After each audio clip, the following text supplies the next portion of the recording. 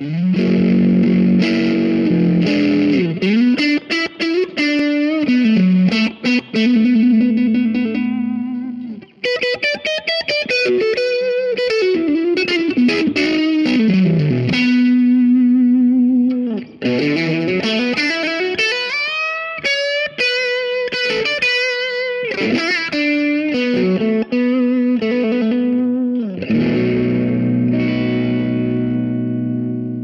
Dulu saya berpikir kalau buat dapetin sound overdrive yang enak, kita harus beli pedal overdrive yang mahal dan hype. Ya dulu saya terbawa stigma di masyarakat perefekan bergitaran Kalau kita beli pedal overdrive yang mahal Kita bakal dapetin sound overdrive yang mahal. Kalau kita beli pedal overdrive yang murah Kita bakal dapetin sound overdrive yang murah. Menurut, menurut gua nggak kayak gitu teman-teman. Kita nggak perlu ngabisin uang Sampai belasan sampai puluhan juta rupiah Untuk dapetin sound overdrive yang enak Misalkan kita harus beli clone centaur Misalkan enggak teman-teman Nah, kali ini gue mau ngerekomendasiin beberapa pedal overdrive yang pastinya soundnya enak dan harganya juga enak. Di video kali ini gue bakal dibantuin sama Mas Anjang. Mas Anjang adalah salah satu builder efek lokal, nama brandnya adalah Adag Audio. Teman-teman bisa cek media sosialnya, linknya udah saya taruh di deskripsi. Sebelum kita mulai videonya, gue mengucapkan terima kasih banyak buat teman-teman yang sudah dan selalu dukung channel ini. Mudah-mudahan channel ini selalu memberikan video-video yang bermanfaat buat teman-teman semuanya pastinya. Untuk gitar seperti biasa saya menggunakan Square Telecaster Classic 5 dan amplifier saya menggunakan Joyo Band M. Dari situ masuk ke Impulse Response Loader Flama FS07 dan langsung masuk ke sound card. Oke, langsung aja teman-teman kita ke pedal yang pertama.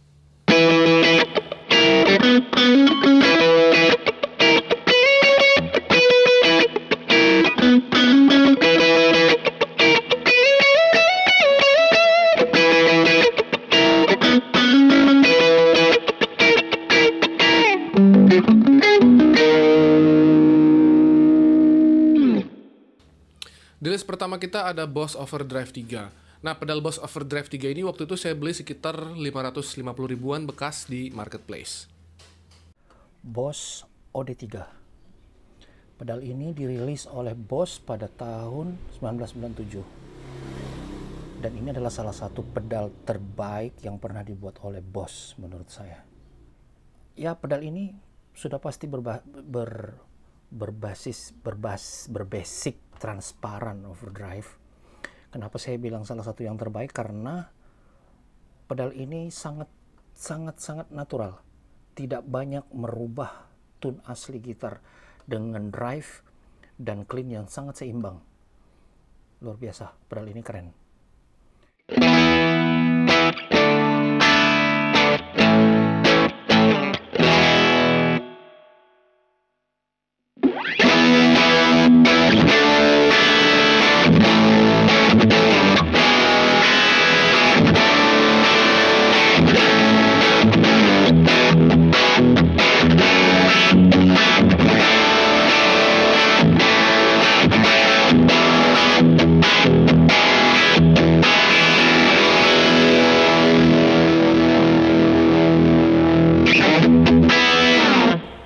Yang paling saya suka dari Overdrive 3 Boss ini pada saat dia ngeboost ampli yang sudah break up, saya fullin volumenya dan gainnya saya tutup.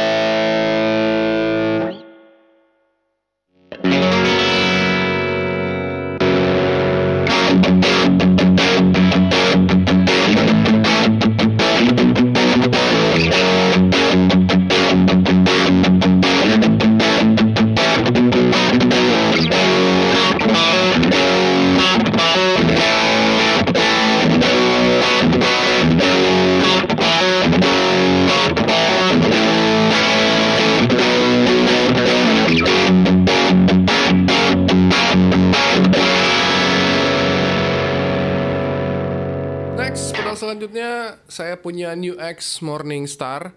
New X Morning Star waktu itu saya beli di marketplace harganya sekitar Rp444.000.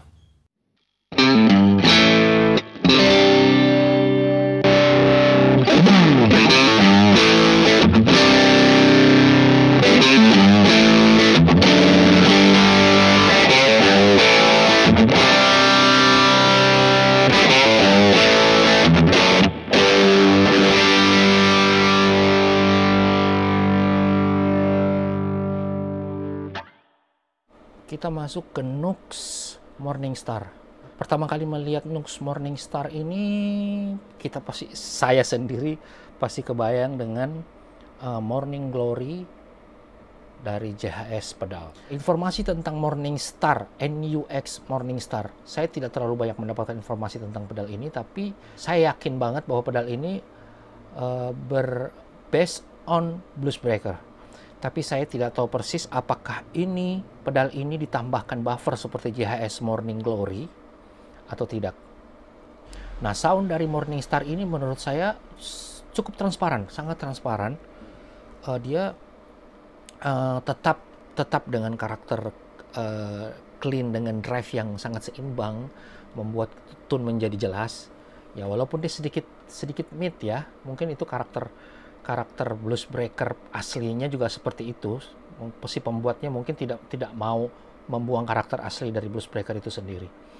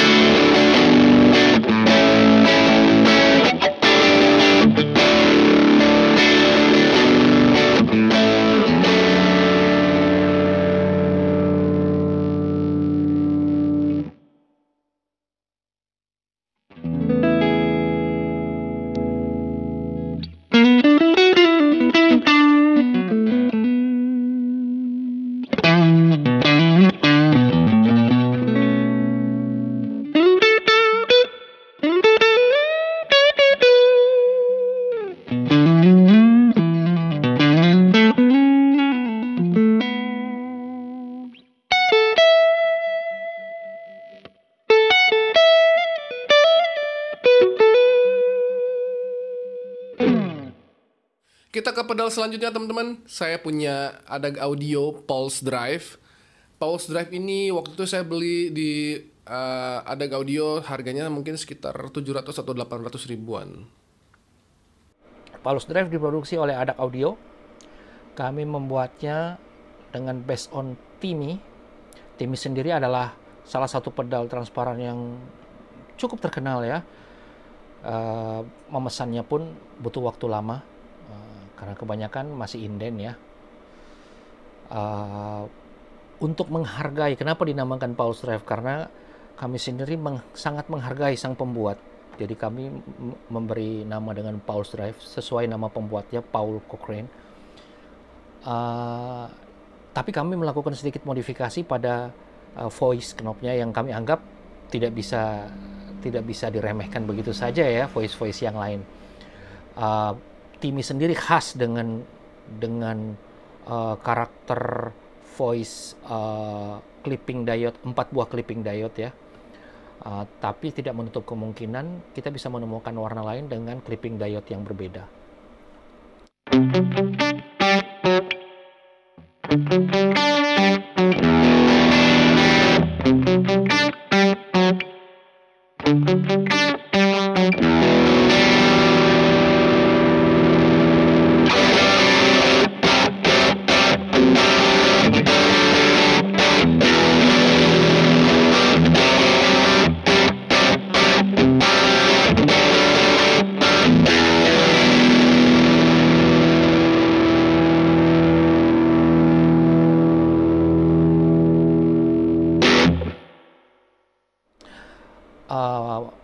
Pulse drive sendiri lebih respon kepada low dan height yang cukup responsif.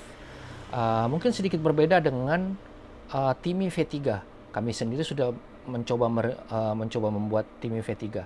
Timi V3 sendiri mempunyai karakter tetap karakter Timi ya, original Timi tetap ada, tapi mungkin mereka sedikit merubah pada karakter uh, low dan warm dan sedikit lebih warm daripada versi-versi sebelumnya. Oke, okay. Pulse Drive ini menurut saya kenapa kami membuatnya karena sangat-sangat transparan sangat-sangat transparan menurut saya. Dia dapat menjadi pedal pilihan untuk uh, gitaris yang ingin membutuhkan boost, boost pedal, atau ingin bermain blues atau bermain pop dengan gain yang yang setara dengan clean ya. Transparan lah bahasa kerennya ya.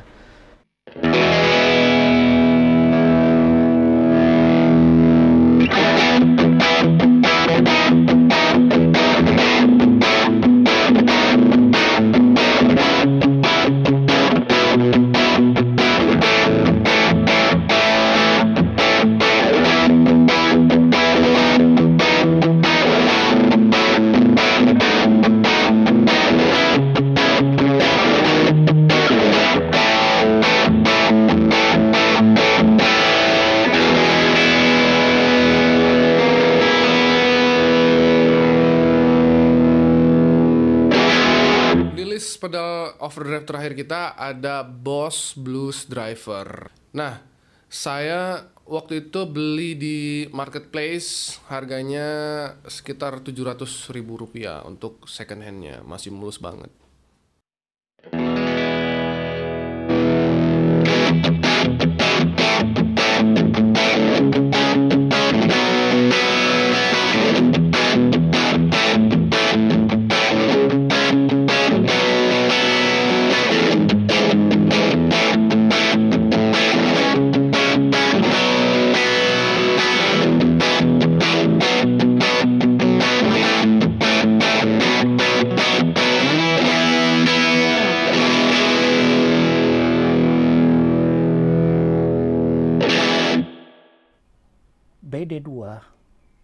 Blues Drive. Diproduksi atau dirilis oleh Boss du dua tahun sebelum sebelum uh, eh, OD3 ya. Dan Blues Drive ini sesuai namanya ya. Kak, saya mendengar soundnya memang memang blues. Jadi buat anda yang mungkin bermain pop merasa kurang suka dengan pedal ini karena memang pedal ini dibuat memang untuk blues. Dan range gainnya sangat luas. Anda bisa bahkan Anda bisa mendapatkan sound fuzz di saat gain yang di saat gain diputar lebih tinggi akan Anda akan mendapatkan sound fuzz ala-ala Jimi Hendrix lah.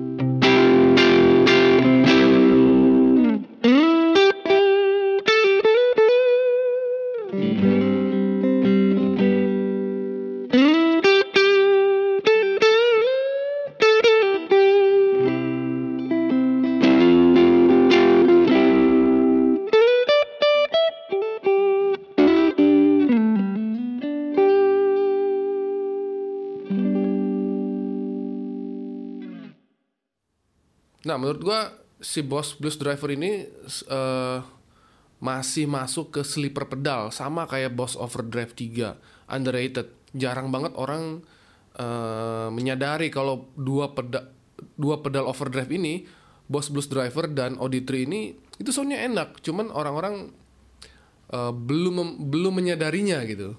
Kalau nggak salah John Mayer pun waktu itu pernah pakai Boss Blues Driver.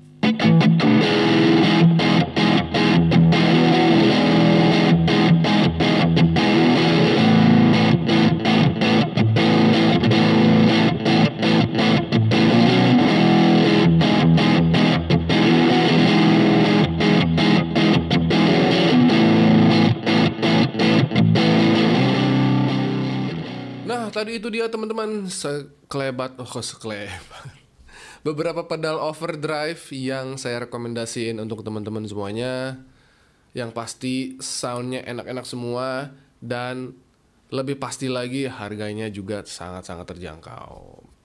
Oke teman-teman, segitu aja video kita kali ini.